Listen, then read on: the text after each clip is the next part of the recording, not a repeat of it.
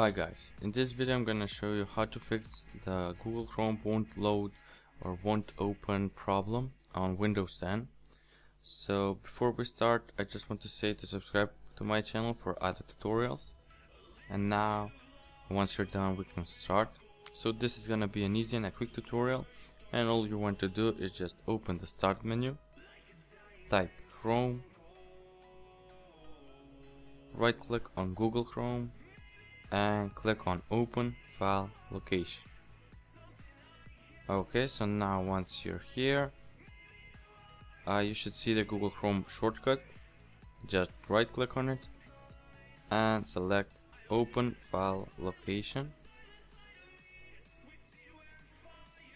And now once you're in the Chrome uh, folder in the Google Chrome folder you should see uh, folder with uh, numbers with a lot of numbers like this. This is the version that you're using. So what you want to do is just open it. So click on it double click on it. Open the folder and look for chrome.dll so chrome chrome.dll what you want to do now is just right click on it and click on delete. So delete chrome.dll so the action can be completed because the file is open in Google Chrome. As you can see I already have it open. So, uh, I have it open so I'm not gonna delete it but just delete the file delete chrome.dll and close the close the file.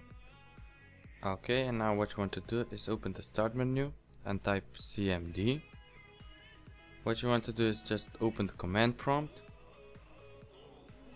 and type net sh winsock reset and hit enter.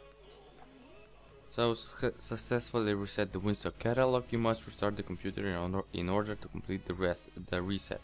So restart your PC and open Chrome again and this problem should be fixed. Thanks for watching guys, please subscribe, like and comment.